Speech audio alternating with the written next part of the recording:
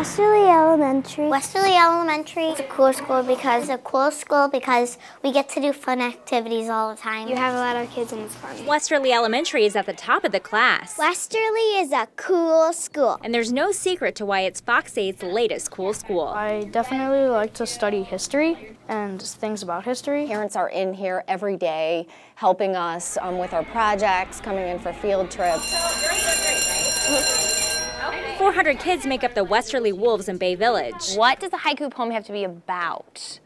Cameron. And this wolf pack may just be some of the most creative you'll ever meet. I really like drawing and stuff, and you learn really, really good stuff at, at like your own level. Yet even before the day starts, 40 students patrol school grounds. Westerly Elementary keeps kids safe. Guarding walkways as their peers make way to a truly unique education. With plants, animals, and a compost bin, the National Wildlife awarded us its merit pin. OSL stands for Outdoor Science Lab, and that's where we keep all of our all of the plants. We write poems about like the weather and the animals. Not many schools have like a big garden in the middle of the school and get to do that kind of thing. In addition to top math and science classes, one of the heavy favorites is definitely PE, where these kids get to interact with each other and also get to learn the value of teamwork. Are you guys ready?